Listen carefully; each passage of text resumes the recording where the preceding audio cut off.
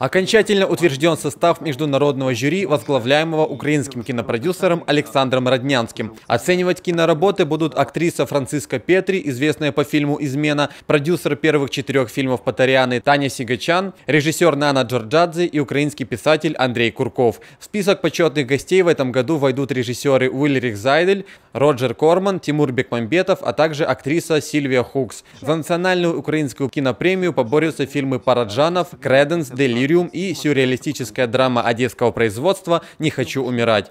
С нашей точки зрения это очень любопытный эксперимент э, такого сюрреалистического соединения игрового и документального кино. И самое интересное, что в этом фильме снялись э, звезды одесского художественного андеграунда.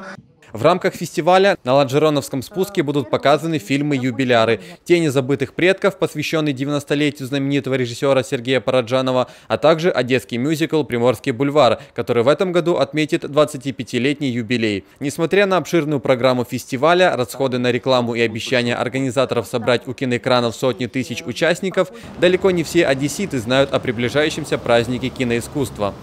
Пойдете на Одесский летний кинофестиваль? Когда он проходит. А когда он будет?